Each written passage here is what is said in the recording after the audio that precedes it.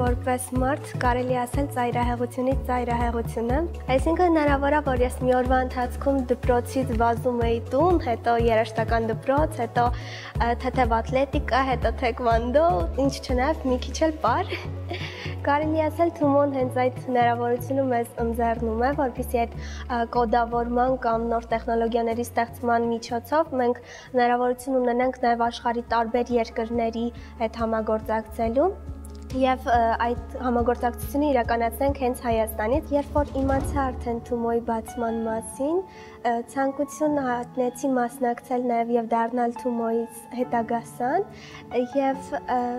նաեւ միտք առաջացա, որպեսզի այդ ապագա գիտելիքներս համատեղեմ նաեւ ռազմական արվեստի մեջ։ Այդպես սրտի թելադրանքով ես ցանկություն հայտնեցի ստեղծել այնպիսի մի սարք, որը կփոխարիներ ինչ չէ նաեւ զինվորներին առաջնագծում։ Միացեք Հայաստանի երիտասարդության ներուժի բացահայտման մեր առաքելությանը։